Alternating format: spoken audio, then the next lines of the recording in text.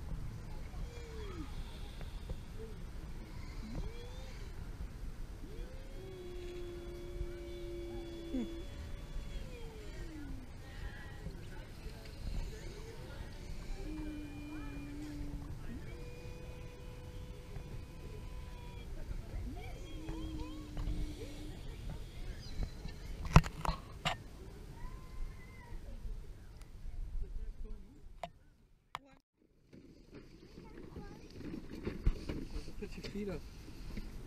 Right there.